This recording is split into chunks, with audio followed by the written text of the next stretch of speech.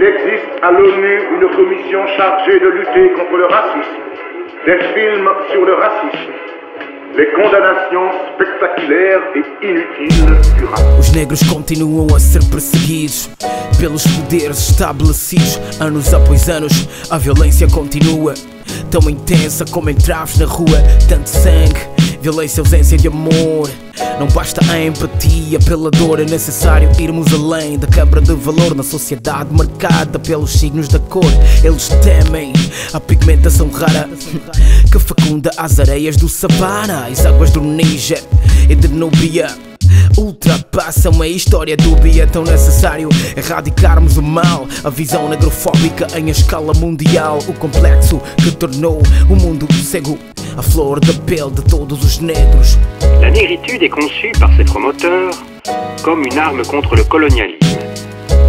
Il s'agit pour eux de promouvoir une culture d'origine africaine, mais dépassant le seul continent noir, une culture confrontée de la part des colonisateurs O continente se ergue e precisa de anáfora para os africanos perdidos na diáspora, sem os pilares de suas culturas.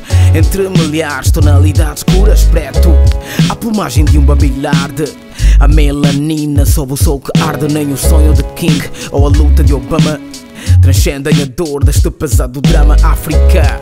Um mundo submerso que chora a dor de todo o universo. Pois nos olhos de César vi o bambolim, mas muito antes confirmado nos acordos de Berlim. O fim da negritude em cada town.